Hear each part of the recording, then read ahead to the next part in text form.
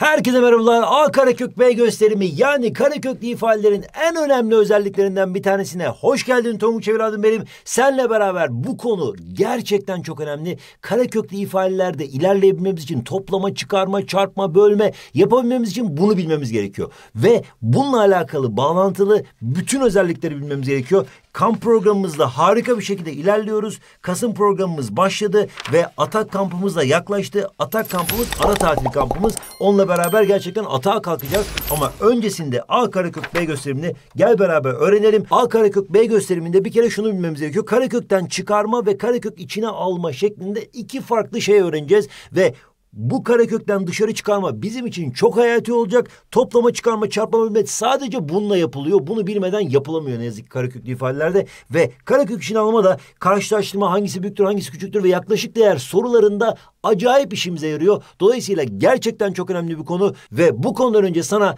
ufacık bir bal var. Ondan sonra da dersimiz başlıyor. Yer Online LGS Dershanesi. Hedef 2023'te öğrencileri hayalindeki liseye kavuşturmak. Tonguçakademi.com'da LGS Dershanesi'ne üye olan öğrenciler kendilerine özel bir programla sınava hazırlanıyor ve her hafta canlı derslere katılarak sınıf ortamında konuları öğreniyor. Ödev takip sistemi sayesinde verilen ödevleri yapabiliyor, haftalık deneme sınavlarına giriyor ve TATS LGS app üzerinden tüm analizlerine ulaşabiliyor. Türkiye'nin dört bir yanından öğrenciler önce LGS dershanesinde, Haziran'dan sonra ise hayal ettiği lisede buluşuyor.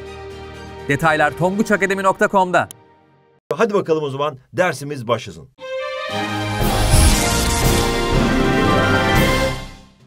Hiç de zor bir konu değil aslında. Sadece taktiğini bilmen gerekiyor. Bak tam kare olmayan sayıların kareköklerini alma işlemi aslında. Mesela Tonguç'um sen şunu biliyor musun? Hemen söyler misin bana? Karekök 25. Söyler misin bana kaçtı Tonguç evladım benim? 5. 25 neyin karesisin? 5'in. Bitti bu kadar. Ama karekök 18'i bul desem bulabilir misin Tonguç? I. Ha işte ı diye kalırsın. İşte o zaman tam kare olmadığı için bu sayı bunun için farklı bir yöntem uygulamamız gerekiyor. O farklı yöntem de şu. Tonguç'um tam kare yardımı denilen bir yöntemimiz var. O da şu. Karekök 18 dediğimiz sayı aslında 18 neyle neyin çarpımıdır Tonguç mesela? 6 kere 3 değil mi evladım? Evet hocam. Şimdi burada Tonguç'um 18 aynı zamanda 9 kere 1'in çarpımında değil mi Tonguç'um? 9 kere 2'nin çarpımında değil mi? Evet hocam. Ha, o zaman 18 aslında hem 6 kere 3'ün hem 9 kere 2'nin hem 18 kere 1'in bir sürü çarpanı var. Ama biz burada yapmamız gereken şey çarpanlarından bir tanesi tam kare olanı almamız gerekiyor. Yani 18 yerine ben 9 çarpı 2 yazmam gerekiyor. Neden 9 aldım? Çünkü 9 bir tam kareydi. 9 neyin karesiydi Tonguç evladım benim? 9 kere 9. Hayır 9. Aa Ha, yanlış pardon. yapıyorsun bak. 9 sen neyin Üç karesi? kere üç dokuz. Harika. O zaman 9 aslında 3'ün karesi olduğuna göre 9 aslında 3 diye çıkar dışarıya. İşte bu kadar. 9 3 diye dışarı çıktı. Ama içeride zavallı 2 tek başına kaldı diyoruz. İşte 3 kök 2 şeklinde gösterimi o karekök 18'in A kök B gösterimi olarak adlandırılıyor. Buradaki A Buradaki de B olmak üzere bak arada da kök işareti var. A kök B şeklinde göstermiş olduk. Peki bunun başka bir yöntemi var mı? Var. O da çok basit. Hemen göstermek istiyorum. 18'i yazıyorsun Tonguç'um. Sonra yanına bir çizgi çekip normal asal çarpanlarını arıyorsun. 2'ye böldüm 9. 3'e böldüm 3. 3'e böldüm 1. Tonguç asal çarpanları ayırdıktan sonra ne yapıyorsun biliyor musun? İki tane olanları, iki tane olanları silip dışarı yazıyorsun. Bir tane olarak. İki tane iki taneyi siliyorsun, bir tane olarak dışarı yazıyorsun. Sonrasında burada geriye kalan zavallıyı da karekökün içine yazıyorsun. Yani karekök 18 aslında 3 karekök 2'ymiş şeklinde yazabiliyoruz. Bitti bu kadar. O zaman Tonguç'um şimdi karekök 32 ile hemen bir alıştırmalar Yapalım. Mesela karekök şey bunu ne yardımı yapalım biliyor musun? E, tam kare yardım yapıyor. O karekök 32 dediğim bir şey. 32 aslında 16 çarpı 2'dir Tonguç'um. 16 neyin karesi? 4'ün. O zaman bu 4 karekök 2'dir. 4 diye fırlar bu dışarıya. Bu içeride 2 zavallı kalır diyoruz. E, 45 dediğimiz şey aslında 9 kere 5 değil mi Tonguç'um? Evet hocam. 9 dışarıya 3 diye fırlayacağını biliyoruz. İçeride de zavallı 5 kaldı bitti. 72'yi bulamazsam eğer 72 hemen şöyle yapayım. 72'yi böyle çarpanla ayırırım.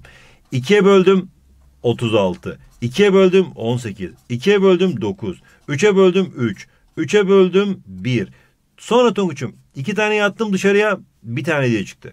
İki tane yattım dışarıya bir tane. Aynı olanları dışarı çıkartabiliyorum. Unutma. Bu zavallı da kaldı. Bu dışarıya çıkanlar 2 çarpı 3 diye e, dışarı çıkıyor. Bu da 2 de içeride zavallı kökün içinde kalıyor. 2 kere 3 6 olduğu için 6 karekök 2 şeklinde yazabiliyorum Tonguç evladım benim. Geldik bu zımbırtıya. Bak bu neyin karesi Tonguç? A kare neyin karesi Allah aşkına? A kare A'nın karesi. Süper dikti. O zaman bu A diye fırlar dışarıya.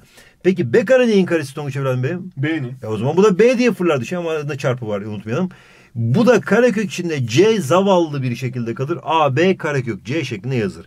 Mesela A kare neyin karesi de A diye fırlar dışarı. B küp eyvah ne yapacağız? Şimdi Tonguç'um burada şöyle düşünün. Bunu da şöyle yapalım. Bu aslında A çarpı A çarpı B çarpı B çarpı B değil mi? B üzeri 3 olduğu için. Şimdi A çarpı A iki taneyi bir tane olarak dışarı attım. İki taneyi bir tane olarak dışarı attım. İçeride de B kaldı. O zaman AB karekök B şeklinde bu ifadeyi de yazabiliriz diyoruz. Aynı burada yaptığım metodun yatay olan versiyonunu yaptım diyoruz. Geldik bir tane model soru. Oğluna göre A artı B toplumu kaç farklı değer alır demiş. Karekök 180 dediğimiz şey aslında nasıl dışarı çıkar ona bakalım. Şimdi karekök 180 dediğimiz şeyi e, biz şöyle yapalım. 180'i hop 2'ye böldük 90. 2'ye böldük 45. 3'e böldük 15. 3'e böldük 5. 5'e böldük 1 şeklinde yapıyoruz. O zaman bunları dışarı çıkardım. Hadi bakalım. Bunları çıkardım 2 diye çıktı. Bunları çıkardım 3 diye çıktı. 2 kere 3 6. Dış, içeride zavallı 5 kaldı. 6 karekök 5 şeklinde çıkar. O zaman bu 6 olur bu 5 olur diyebilirim değil mi Tonguç Evladım?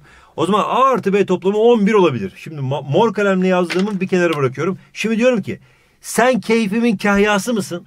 Efendim hocam. Ha değilsin. Evet. O zaman ben bunları içeride bırakmak istiyorum. Sadece bunu çıkartıyorum. Bunu, bunu dışarı çıkar. Bak bu içeri çık, e, bu dışarı çıkıyor ama bunlar içeride kalıyor. 3 kere 3 9 9 kere 5 45 2 karekök 45 de yazabilirim buna. O zaman bu 2 olur bu da 45 olur. 2 artı 45'ten de 47 bunun cevabı turuncu kalemle yazdım. Şimdi geldik başka bir kalem rengimize pembiş kalemde. Sen keyif imkanesi mısın? Hayır değilsin. O zaman bunları dışarı çıkartmıyorum. içeride kalıyor. Ama bunları çıkartıyorum 3 diye. O zaman 3 dışarı çıktı. Bu 3 karekök içinde 2 kere 2 4 4 kere 5 20'dir diyorum. 3 karekök 20 şeklinde yazıyorum. O zaman A3 B de 20 olacak şekilde ikisinin toplamı 23'tür diyorum. Peki Tonguç başka da bir şey yapabilirim. O da şu Tonguç'um artık abartıyorum. Hiçbir şey çıkarmıyorum. Hiçbir şey çıkarmıyorum. O zaman bunların hepsi içeride kaldı. 180. Başta da hiçbir şey çıkmadığı için görünmez bir 1 vardır diyorum. 180 ile 1'i toplarsam eğer çat 181 bunun cevabı eder. Toplam 4 farklı değer alır diyoruz. Gerçekten olağanüstü bir Olağanüstü. beceriye ve gerçekten kabiliyeti sahibisin diyoruz. Ve süper bir şekilde geçiyoruz. Tonguç Karaköy 2'nin yaklaşık değeri 1,41 olduğuna göre Karakök 32 kaçtır demiş. Şimdi Tonguç'un burada çok basit bir yöntem var. 32'yi ilk başta A kök B şeklinde çıkartalım. Bu aslında 16 çarpı 2'dir. 16 nedir? 4 diye dışarı çıkar fırlar, fırlar dışarıya. 4 kök 2'dir. O zaman bizim aradığımız şey 4 kök 2 değil mi? Evet hocam. O zaman karekök 2 zaten 1,41'miş. O zaman bu aslında 1,41'miş. E bunu ne yapıyorum? Burada görünmez bir çarpma vardır Tonguç'um. Bunu 4 ile çarpacağım. O zaman 4 çarpı 1,41 derim. Böyle alt alta çarpalım. 1 kere 4 4. 4 kere 4 16 elde var 1. 1 e, kere 4 4. 1 de elde 5 diyorum. İki tane virgül kaydı için 5,64 bizim cevabımızdır. Yaklaşık değerimizdir diyoruz.